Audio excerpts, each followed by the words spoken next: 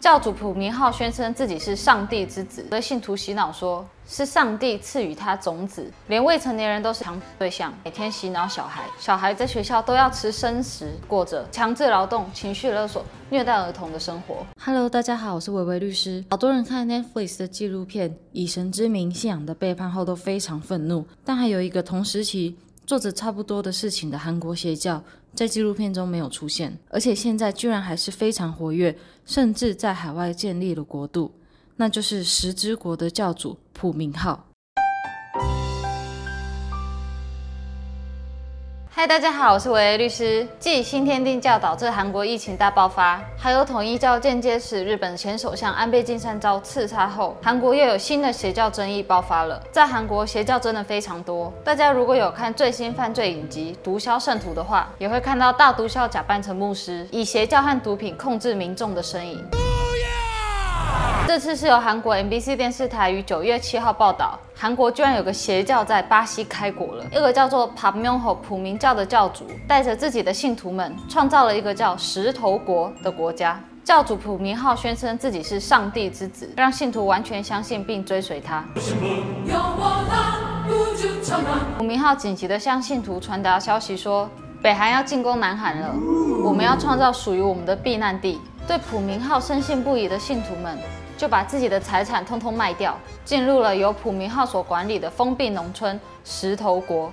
教主普明浩在石头国里颁布了纪律，迫使信徒们都要无偿劳动，栽种各种蔬菜来贩卖。贩卖蔬菜的收益要集中管理。普明浩虽然称收益都是用来买信徒所需要的必需品，但是大部分的收益都进了普明浩的口袋。二零零九年，有位信徒在网络上上传了自己被教主强文章。还有另一位信徒表示，他有目击到，连未成年人都是教主朴明浩的强对象。到二零一二年，教主强多位信徒的监视录影影像被上传到网络上。一位前信徒表示，以教主在石头国的地位，根本就是像拥有了强许可证一样，可以随心所欲。在石头国中，所有年轻年长女性都要称教主为丈夫、郎君。教主对信徒洗脑说，是上帝赐予他种子。要他将种子散播人间，而且尽管是已婚女子，也要被散播种子。教主的性丑闻传开后，因为一部分的被害人已经过了追诉期，教主就和剩下的被害人私底下达成和解。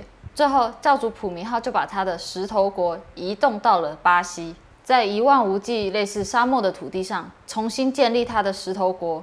他开垦土地，搭建房子和有机农场，而这次他更新建了孩子们上课的学校。让孩子一整天学习教主创的教义，在学校中每天洗脑小孩。不止如此，小孩在学校都要吃生食，还被逼迫要唱有粗暴字句的歌曲，并时不时被教主以暴力虐待。但因为这是信徒二代。也就是孩子都是从非常年幼就开始被教主洗脑，所以他们完全相信这个世界就是以教主为中心在旋转。同样的，信徒们在巴西的石头国也是无偿的做劳动，在有机农场栽培蔬菜，农场的收益也全部被教主吞了。结果就在今年四月二十九号，有人在工地中发现了因事故被压在土堆中的五个信徒孩子的尸体。经调查后，才发现原来有这么多韩国人在巴西过着强制劳动、情绪勒索。虐待儿童的生活，教主普明浩的巴西石头国就此被世人发现。NBC 电视台最后得到的关于石头国的讯息是，教主普明浩得知了 NBC 电视台偷偷潜入石头国采访之后，进来在做礼拜时，带着信徒们一起诅咒 NBC 电视台去死、消失吧。只能说邪教真的是一个很神秘的存在呢。关于邪教为什么在韩国如此猖獗，已经有很多 YouTuber 做了很详尽的分析，大家有空可以去看看。最后就希望大家在寄托心灵时，也要随时保持清醒，不要跟自己周遭的人断了连接哦。好，那我今天的分享就到这边，我是伟伟律师，我们下次再见，拜拜。喜欢这个优质的创作者，就赶快去 follow 他哦。有发现其他更具爆红潜力的影片吗？赶快投稿给达人秀吧！点击下方观看更多有趣内容。